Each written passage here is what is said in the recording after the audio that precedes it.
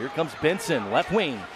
He'll peel back, leaves for Collins. Oh, what a beautiful pass! Whoa, my! How did Carney make the save? How did Carney make that save? How did Carney make that save? Marco. Here's a two-on-one for Amarillo. It's Shimizi. He's got Carney with him. Shimizi takes a shot and a big save with the glove. Stefan Carney. Glass on the far side. Shots on goal after two periods.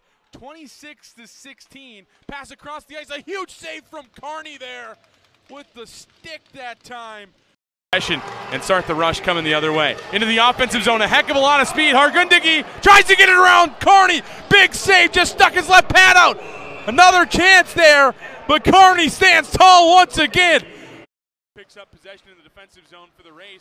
A deflected pass. Gato in the high slot. Gato trying to get around. Simpson gets it back. Gato with a shot. A big save by Carney as he'll scramble for the rebound and hop on top of it.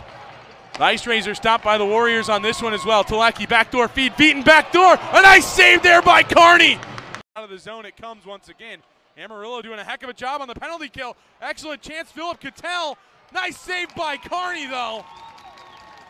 To negate the shorthanded chance into the corner for Emerson Miller. Miller up the far side wall, throws on the brakes, avoids one player, but unable to avoid the second opportunity out front. A big save by Carney.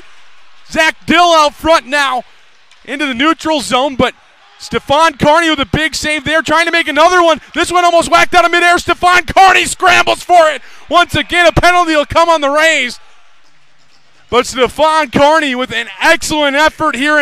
Up top for Green. Brimmer on the top of the far side. Over near side. Volkema shot. Saved by Carney. Over to Dvorny. Dvorny on the top of the near side. Back to Bankier. Four seconds to go on the Crawleys. He's back out there. A big save by Carney there.